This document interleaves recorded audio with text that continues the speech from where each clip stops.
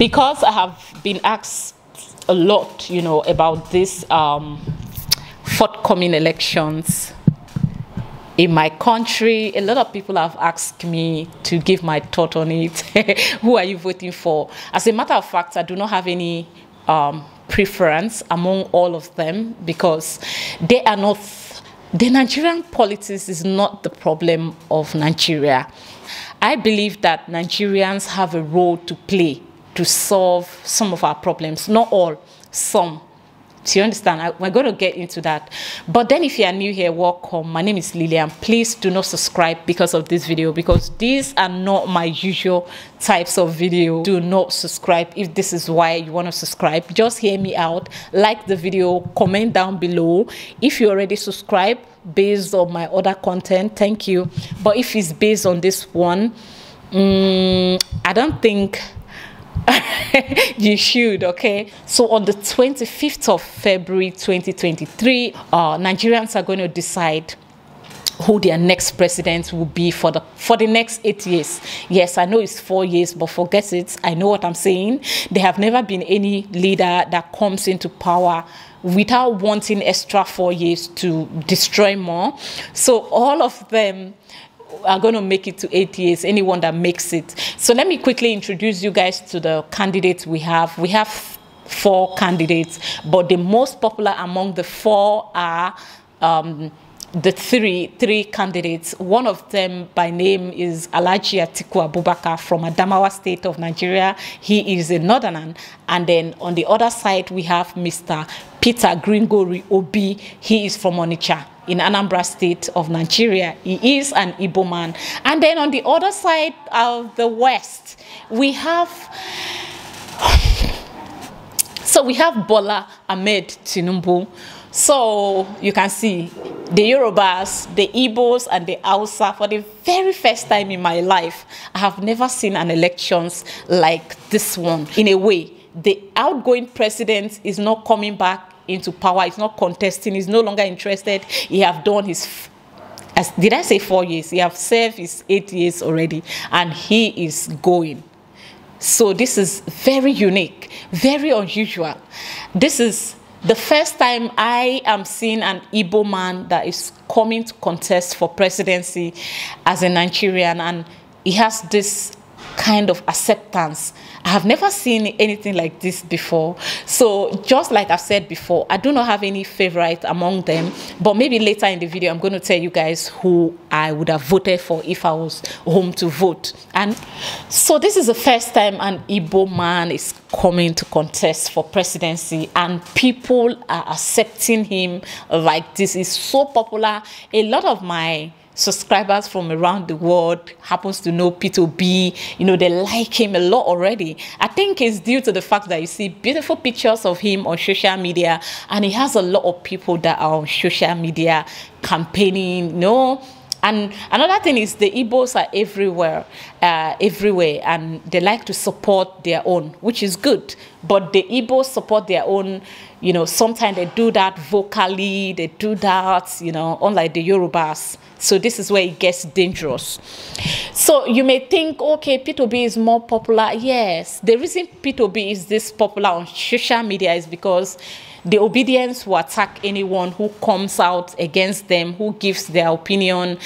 Um, that is not once once they discovered you're not voting for, you're not supporting Peter Obi, they attacks you. People attack you with words, people attack you with, you know, they come for your mental health. So a lot of people are aware of this. They don't talk about their choice, their candidates, not because they don't want to talk about it, but they are afraid to talk because the Obidients are very, very, very, very, very, very, very, very present on social media, and lots of them are bully.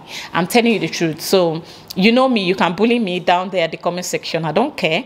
Okay, later I'm going to tell you my my candidate. So this is why it seems like he have he have the upper hand. But in reality i am so worried because we have bola ahmed tinubu who is a yoruba man. And bola ahmed tinubu has a lot of unclean record. There have been series of allegations against him from murder of you know top lagos politicians to him being a former drug baron. And then his identity his origin like a lot of people are A lot of people are on the opinion that he's not a Lagosian. He lied about it, and he has other issues like age fraud. He has other issues. He has a series of you know unclear record that he came from Ogbomoso in in Oyo State. It's not a bad thing, but then owning it up is I don't know why Baba is not owning it up to say okay yes true I come from a poor family somewhere in Ogbomoso, oh. and then I came to Lagos. They adopted me, trained me, sent me to school. I became somebody. It's a big testimony, a big inspiration to a lot of people. But this man, I don't even know. This man has a lot of unclean record. So yet, some Nigerians are going to vote for him. So if you wake up on the 27th and he's announced the president, don't be surprised. That is the kind of country that we come from. The reason he has um, a lot of chances, he may win the election, he have been very intentional about this position. He has been into it way back. He has been investing in individuals. Do you understand? He sees you, maybe upcoming actor or actress, he sees potential, he sees that you may be useful for him in future. You invest in you. So he have been doing that a lot. You see people like the likes of jj okocha um, the, that's the former super eagle uh, player you see a lot of nigerian celebrities. He has this he have invested this one-on-one investment where maybe you are sick and no one comes through. He hears about it he come for you you know? So he had been doing his campaign long long time ago. So you see how dangerous it is. So a lot of people that he have done good for in the past they don't even care about his reputation. They don't care about his dented image. They don't care about his criminal records. They don't care about anything. They just want to pay him back, you know, the good that he has done for them. So it gets even more dangerous. Another thing is the Yorubas. You see Yoruba people, hmm? me, I grew up in a Yoruba home. I wouldn't say home because I grew up in different Yoruba homes.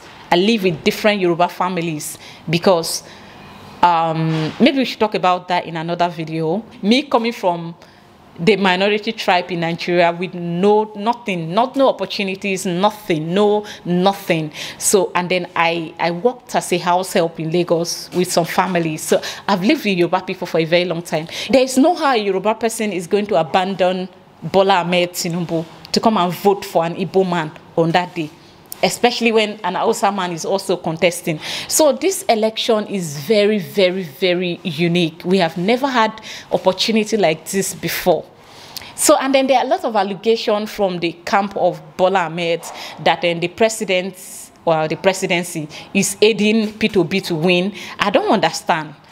So how is he aiding uh, Obi to win? They're accusing him of um, you know, making shortage of uh, being responsible for scarcity of naira notes so that they will not buy vote. So were you intending to buy votes? They can't even defend that. But they may win, like I told you.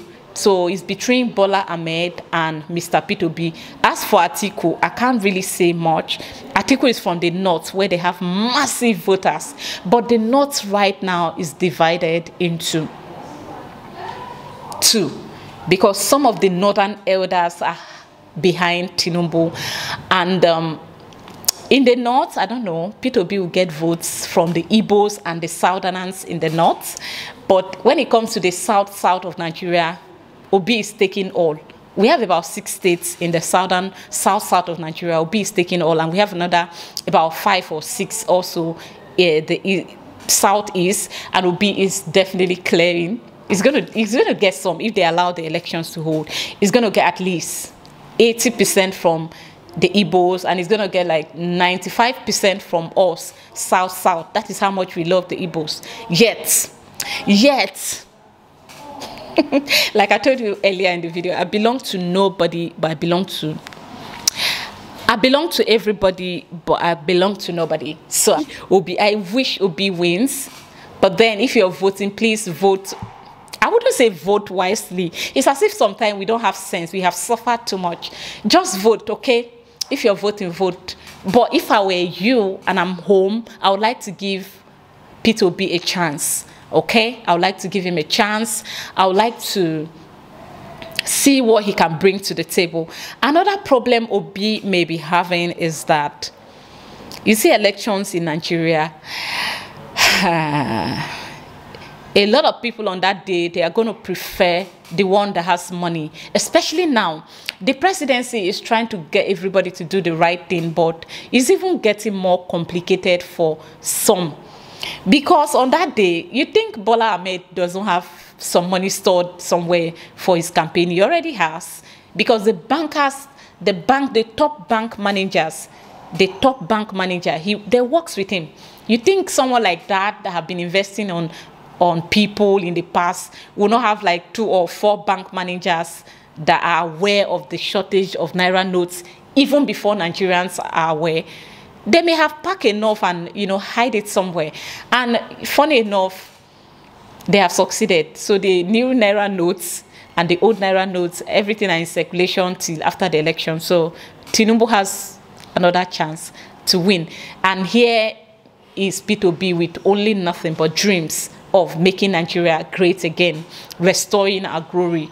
So, but then, I don't know, I don't know. So, my own opinion is whoever wins should go on ahead and win. But my own is I'm so worried because this scarcity of naira note is affecting everybody. I had a traumatic travel experience the other time I went to Nigeria. I was on the road for whole three days because I couldn't get money. I had some money in my account, I couldn't get it. I had little money in my children's account, I couldn't get it. I tried to get it no way.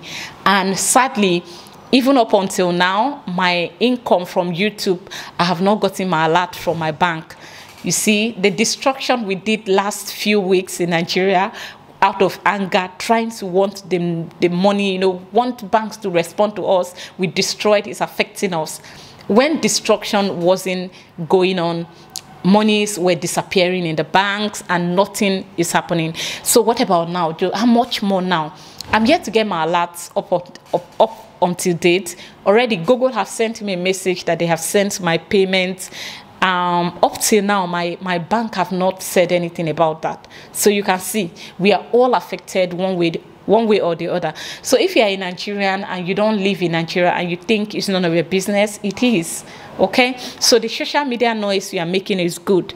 Keep it up. Do it the right way. Don't um, attack other people for their choices. For me, I try to make the women in my village understand that we should give Peter Obi a chance, not because he's an Igbo man, not because he's um, whatever, but because he have never been given a chance before to do something like this. And of course, it's only fair that we have someone from that part of Nigeria also come into power. It's only fair we have an Igbo man also coming to power. So I'm done with this video. I will see you in my next one. Ciao.